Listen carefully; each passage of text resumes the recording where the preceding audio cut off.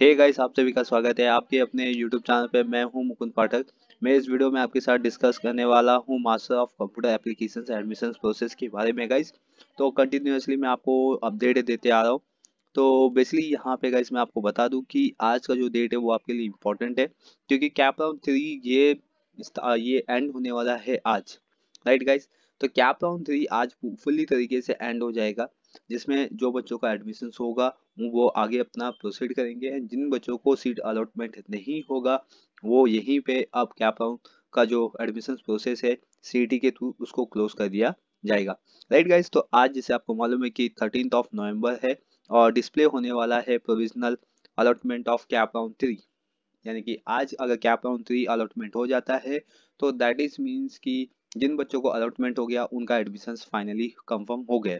ठीक है, और जिन बच्चों का एडमिशन यानी कि जिन बच्चों को सीट अलॉट नहीं होगा, सीधा अलॉटमेंट पे ज़ीरो लिख के आएगा गाइज़ तो इसका मतलब है कि अब आपका एडमिशन नहीं होगा। आपको अब नेक्स्ट ईयर का वेट करना पड़ेगा, ठीक है, या कोई अदर कोर्सेज में आपको फिर जाना पड़ेगा।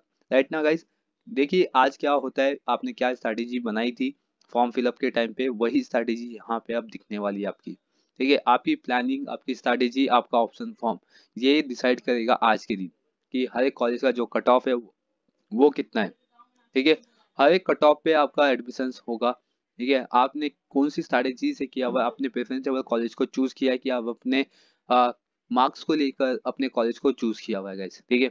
बच्चे लोग प्रेफरेंसेबल कॉलेज को चूज़ करने के चक्कर में वो वो भूल जाते हैं कि उनका कट ऑफ़ कम है, उनका मार्क्स कम है तो शायद उनका एडमिशन नहीं हो पाएगा। लेकिन प्रेफरेंसेबल कॉलेज को चूज़ करने पे यही दिक्कत होती है गाइस ठीक है?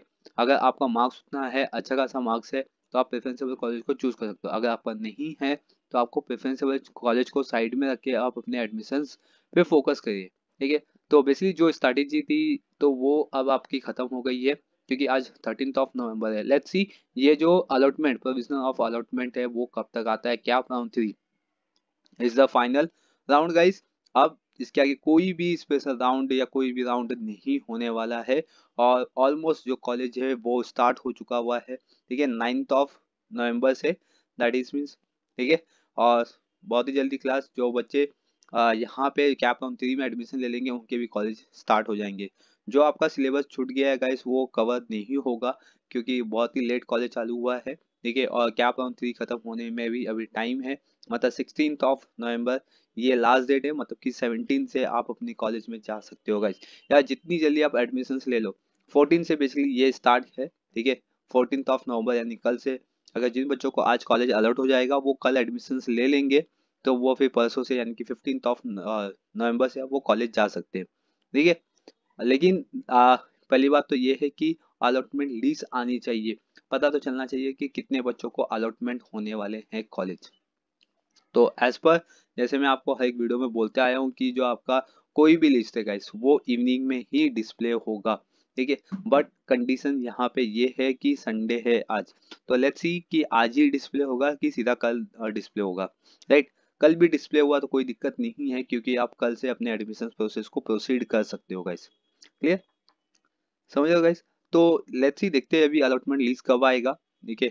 और इसके बाद कोई भी स्ट्रैटेजी नहीं है, कोई भी प्लानिंग नहीं है, कुछ नहीं है। ठीक है, जिन बच्चों का एडमिशन नहीं हुआ है, वो दूसरे कोर्सेज में देखिए अब। ठीक है, कोई ऑफलाइन जाके कोर्सेज देखिए, क्योंकि ऑनलाइन जो सी के थे, वो अब क्लोज होने वाले हैं ऑलमोस्ट क्लियर पैनिक होने की नीड नहीं है। ठीक है, आप बेटर कर सकते हो।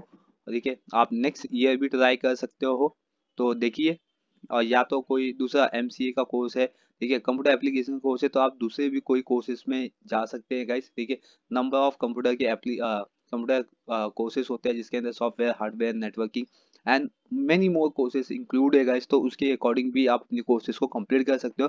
दैट इज़ मीन जो आप फ़ील्ड में हो, उसी फ़ील्ड से रिलेटेड हो सकते हो। ठीक है, उसी कोर्सेज को आप कंप्लीट भी कर सकते हो। ठीक है ये नहीं कि आपको सीडी के थ्रू जैसे ये एक वैलिड डिग्री हो जाती है, वो भी एक वैलिड डिग्री होगी। ठीक है, उससे कोई इतना फ़र्क नहीं पड़ेगा। आप नेक्स्ट ईयर आप एक साल वेस्ट करने से अच्छा आप कोई ना कोई कोर्स करते रहो। ठीक है तो जिसके बेस पे आप नेक्स्ट ईयर इसमें ट्राई कर सकते हो। तो आपके पास दो डिग्री आ जाएगी प्रोफेशनल कोर्सेज जो आप करोगे डिप्लोमा कर सकते हो आप। ठीक है, वहाँ से भी एक कोर्सेस आ सकती है और ये भी एक तरह का डिप्लोमा ही है। ठीक है तो यहाँ से भी आपको एक डिग्री आ जाएगी। दैट इज़ मीन जब आप जॉब लेने जाओगे तो आपके पास हाई प्रोफ़ाइल पे एक आपकी क्वालिफिकेशन उठ के दिखेगी। राइट गाइस तो आपको पैनिक होने की नीड नहीं है। है number of the courses market में अवेलेबल्स है। आप उनको सर्च कीजिए। एंड नेक्स्ट थिंग जिन बच्चों का अलॉटमेंट हो जाएगा गाइस ठीक है तो उनको मालूम है कि कैसे करना है। सीट एक्सेप्टेंस कैसे करना है। अब इसके अंदर बेटरमेंट नहीं आएगा गाइस ठीक है? यहाँ पे आप देख सकते हो कि participate candidate to home the first time allotted is made और got betterment in the allotment और नो बेटरमेंट ठीक है? Earlier seat retain round three shall be final तो गाइस इसमें कोई भी बेटरमेंट नहीं। हाँ जो कैप राउंड टू के बच्चे हैं, उनका जो बेटरमेंट है, वो भी एक फाइनल बेटरमेंट होगा। उनके बाद भी कोई बेटरमेंट नहीं होगा। ठीक है? आप कैप राउंड टू और कैप राउंड थ्री के अंदर कोई भी एक कॉलेज आपको फाइनली सेलेक्ट करना पड़ेगा। अगर आप सेलेक्ट नहीं करते हो तो आपका भी एडमिशन कैंसिल कर दिया जाएगा। राइट तो ये बेसिकली यहाँ पे दिया हुआ है। तो आपको एक्शन लेना होगा। है आपको बेटरमेंट में कैप राउंड टू को सेलेक्ट करना है या कैप राउंड थ्री के जो कॉलेज है उनमें से कोई एक कॉलेज सेलेक्ट करने और जिन बच्चों का कैप राउंड थ्री का एडमिशन प्रोसेस है, वो सीधा अपना एडमिशन कंफर्म कीजिए प्रोसीड कीजिए अपने एडमिशन में राइट आपको अभी जो भी कॉलेज लगेगा, वो आपको लेना ही पड़ेगा, इसमें कोई बेटरमेंट का ऑप्शन नहीं है। क्लियर गाइज़ तो ये जो प्रोसेस है, वो पूरा 14 से स्टार्ट होगा और 16 तक चलेगा।